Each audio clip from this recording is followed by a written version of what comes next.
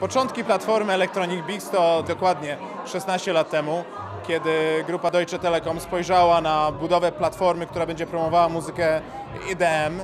To przez wiele lat wo- ewoluowało. Na polskim rynku tak naprawdę jesteśmy i byliśmy obecni od, od kilku lat, ale w tym roku robimy to z olbrzymim rozmachem. E, Stawiamy na kilka dużych festiwali muzycznych, wszędzie tam, gdzie jest dobra muzyka. E, dobra muzyka IDM. E, ściągamy i, i zapraszamy na koncert Aviciego w, w lipcu w Gdańskiej Arenie. I tak naprawdę jest to platforma kulturalna, społeczna no i muzyczna. Jest to pewnie największe wydarzenie tego typu w naszym kraju, e, które sprawia, że jesteśmy tam, gdzie są nasi klienci, klienci T-Mobile'a. Przybliżamy im dobrą muzykę, naszymi usługami, naszą siecią są w stanie słuchać tej muzyki w ramach streamingu e, bardzo dobrej jakości. Jesteśmy tak naprawdę tam, gdzie oni są. Żyjemy ich życiem, chcemy być blisko nich, a ta platforma, którą tworzymy, czyli Electronic Beats, jest jednym z sposobów bycia bliżej. Ja się interesuję muzyką i zawsze byłem pod wrażeniem działania Electronic Beats. Bo to jest jakby podkreślenie ambicji korporacji.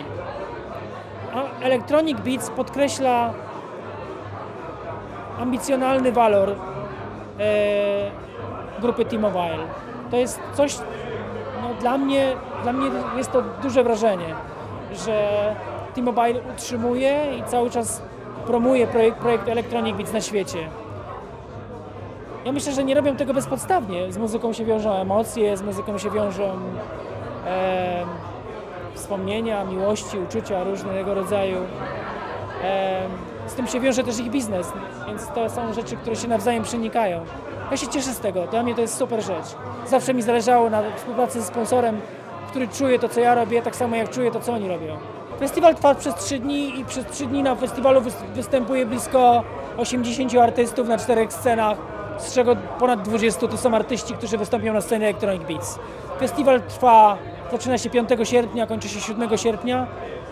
E, to jest piątek, sobota, niedziela. Odbywa się w Katowicach na Dolinie Trzech Stawów, przy pięknej parkowej okolicy, która jeszcze jest e, z naszej strony e, upiększona.